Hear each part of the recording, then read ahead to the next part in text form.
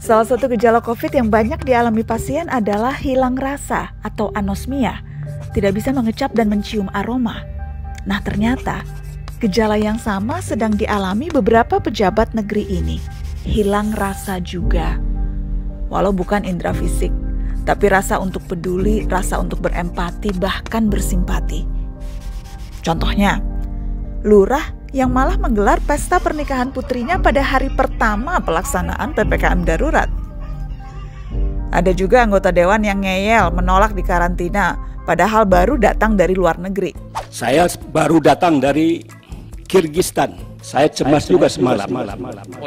Mau diinapkan di hotel dan memang cara-cara yang dilakukan tidak baik oleh uh, Departemen Kesehatan. Harusnya yang yang yang di karantina itu adalah orang-orang yang tinggal di luar negeri. Mau contoh lain? Ada anggota dewan lainnya meminta pemerintah menyediakan rumah sakit khusus untuk pejabat negara. Pemerintah lupa bahwa harus menyediakan fasilitas kesehatan buat pejabat negara. Pejabat negara ini harus diistimewakan. Dia ditempatkan untuk memikirkan negara dan rakyatnya. Bagaimana sampai dia datang ke emergensi terus terlunta-lunta? Saya sedih. Gak sungkan tuh dia meminta supaya pejabat diistimewakan? Ya, kita juga ngerti lah ya kalau kondisi orang berbeda-beda. Ada yang kaya, ada yang miskin, ada yang jadi pejabat, ada yang jadi jelata. Dalam kondisi normal, kita bisa kok memberi pengertian kenapa para pejabat itu dikawal patwal, nyalain sirene di jalan misalnya. Mereka kan sibuk ngurusin kita-kita yang rakyat ini kan. Ngertilah kita, selalu pengertian kok kita ini.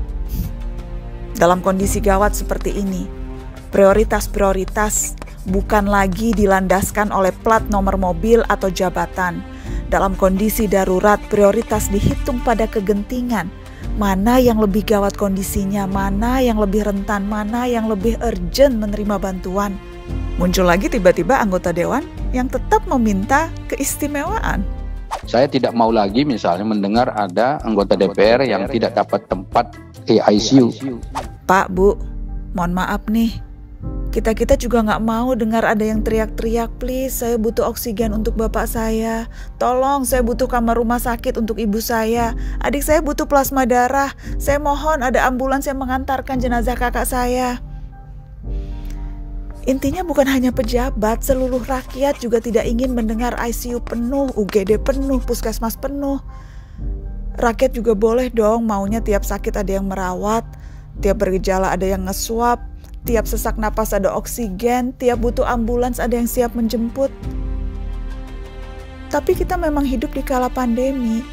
Hari-hari ketika banyak hal jauh dari ideal, tidak semua yang kita mau itu bisa didapatkan begitu saja. Kita tahu, ngerti, pahamlah semua itu. Tapi kami sungguh kurang paham gimana caranya ICU harus selalu tersedia buat pejabat.